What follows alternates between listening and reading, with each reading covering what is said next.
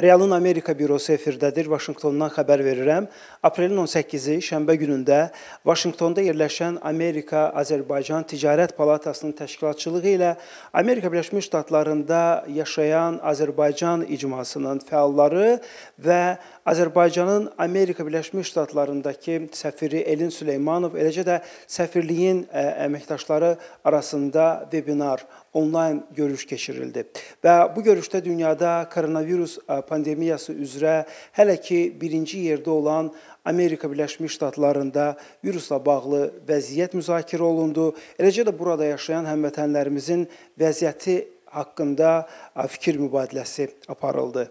Pandemiyanın yaratdığı vəziyyətlə əlaqədar Amerika Birləşmiş Ştatlarında yaşayan və çətinliklərlə üzləşən Azərbaycan vətəndaşlarına icma üzvləri və təşkilatlar tərəfindən e, göstərilən dəstəyə görə səfir öz minnətdarlığını ifadə etdi və eləcə də icma üzvləri tərəfindən Azərbaycanda e, koronavirusla bağlı yaranmış vəziyyətdə ehtiyacı olan şəxslərə və ailələrə dəstək göstərmə təşəbbüsünü yüksək qiymətləndirdi. Əlavə olaraq qeyd edildi ki, hal-hazırda Amerika Birləşmiş Ştatlarında olan Azərbaycan vətəndaşları, xüsusən burada təhsil alan tələbələr və qısa müddətdə Amerika Birləşmiş Ştatlarına səfərə gəlmiş, lakin sərhədlərin bağlanması səbəbindən vətənə qayıda bilməyən vətəndaşlar ilə təmas yaratmaq və dəstək verməyə xüsusi diqqət ayrılıb.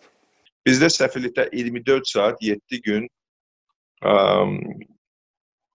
qaynar hət işləyir. Qaynar hət işləyir, Twitter'ımız var, Facebook'umuz var. Emil də burdadır. Emil də və digər əməkdaşlar siz özünüz mən düşünürəm ki, danışmısınız onlarla, təmasda da olmusunuz. Gündəlik əsasında 24 saat bu nömrələr açıqdır və bizim əməkdaşlarımız da vətəndaşlarımızın, dövlətimizin xidmətindədir. Həmin onlayn görüşdə həmçinin Azərbaycanda koronavirusla bağlı vəziyyətlə əlaqəli məlumat verildi. Bu dövrdə hər bir Azərbaycan vətəndaşının məsuliyyətli və təmkinli davranmasının vacib olması da diqqətə çatdırıldı və Azərbaycanın sərhədlərinin açılması və Azərbaycana avianəqliyyatın bərpa olunmasına da məhz bu kontekstdə yanaşılması tövsiyə edildi. Bu günlər bizim icmamızın birliyi, həmrəliyi olduqca vacib.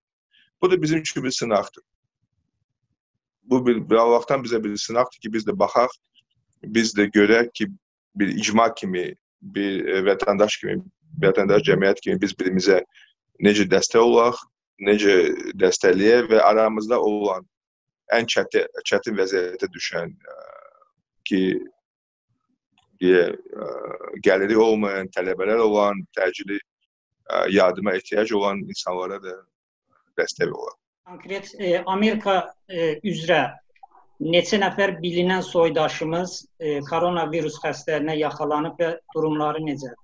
Bu günə bizdə olan məlumata əsasən, yəni bizə məlumatlar yalnız ə, həmin o yoluxan vətəndaşların ya özləri tərəfindən daxil olur telefon vasitəsilə, ya da ki onların qohumları, Bakıda yaşayan, Azərbaycanda yaşayan qohumları vasitəsilə daxil olur. Bu məlumatlara əsasən bu günədək hal-hazırda 12 nəfər koronavirusda yoluxma ə, faktı yəni qeydə almışıq. Yəni ancaq ə, rəsmi qaydada ABŞ tərəfindən bizə hələ ki bu barədə məlumat daxil Və onu da qeyd edim ki, 3 aprel tarixindən etibarən hər həftənin cümə günü Vaşinqton vaxtı ilə saat 17-də keçirilən vebinarlarda səfirliyin konsulları və adiyyətli əməkdaşları koronavirus pandemiyası ilə bağlı həmvətənlərimizi məlumatlandırırlar və onları maraqlandıran suallara cavab verirlər.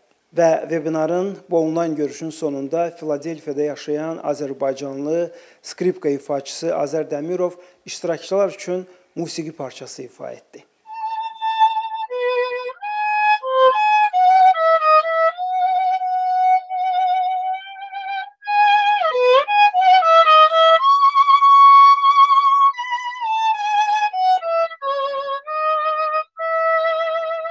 Və sonda bir daha nəzərinizə çatdırım ki, aprelin 18-də Azərbaycan Respublikasının Amerika Birləşmiş Ştatlarındakı səfirliyi və Amerikada yaşayan Azərbaycan icmasının fəalları arasında onlayn görüş, webinar keçirildi və icma üzvlərinin bir sıra suallarına səfirliyin əməkdaşları cavab verdilər. Vaşinqtondan Real TV-nin Amerika bürosu.